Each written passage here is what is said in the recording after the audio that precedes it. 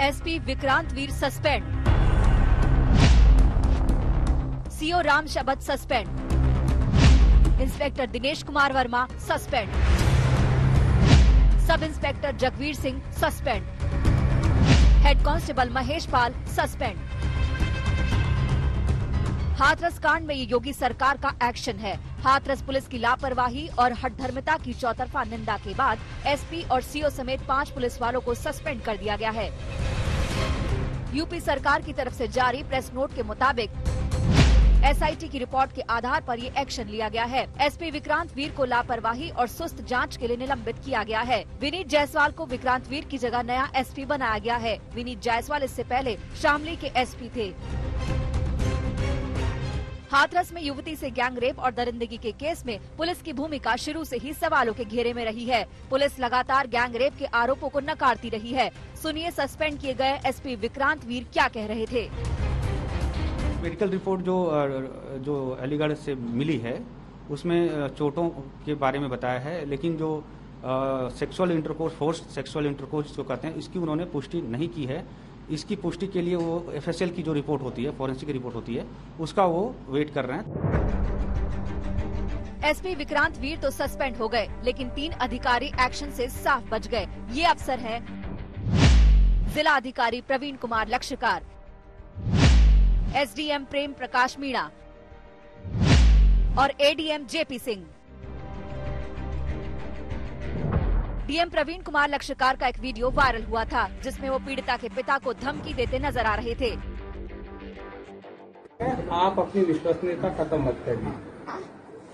तो मीडिया वाले मैं आपको बता दूँ, आज अभी आधे चले गए, कल सुबह तक आधे और निकल जाएँगे, दो चार बचेंगे कल शाम और हम ही आपके साथ खड़े हैं। यही नहीं जिस तरह पीड़िता के शव को आनंद फानन में जलाया गया उसमें भी डीएम की भूमिका पर सवाल उठ रहे हैं। फिर भी डीएम पर एक्शन न होना सवालों में है। आप मुझे बता दीजिए क्या जल आप इस बारे में डीएम साहब से पूछना आई है? डीएम साहब से आपकी बात हुई है? डीएम साहब से बात हुई है आपकी?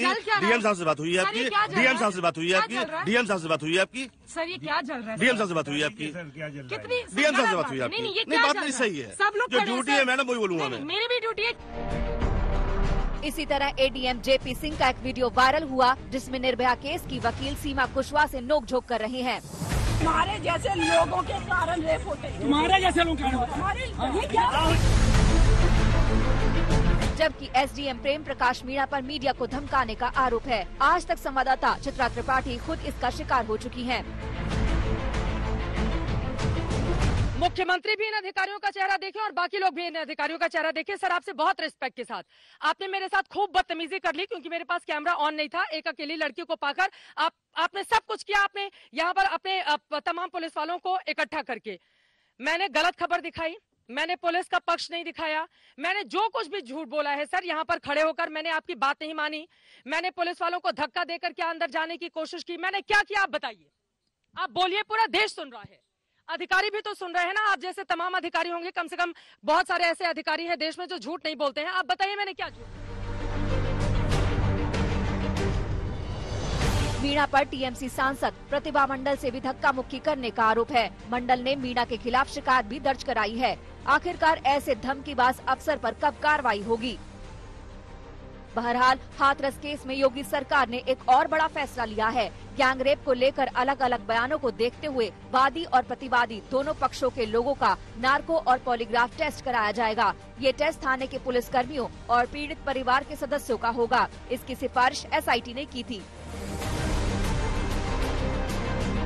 हाथरस पुलिसिया किले में तब्दील है। योगी सरकार बैकफुट पर है। पाँच पुलिस वालों पर एक्शन लेकर चेहरा बचाने की कोशिश हुई है, लेकिन इंसाफ की ये जंग तब तक खत्म नहीं होगी, जब तक पीड़ित परिवार को इंसाफ नहीं मिल जाता। लखनऊ से कुमार अभिषेक और अभिषेक आनंद के साथ चित्रा त्रिपाठी, तनुश्री पांडे, हाथरस आज तक।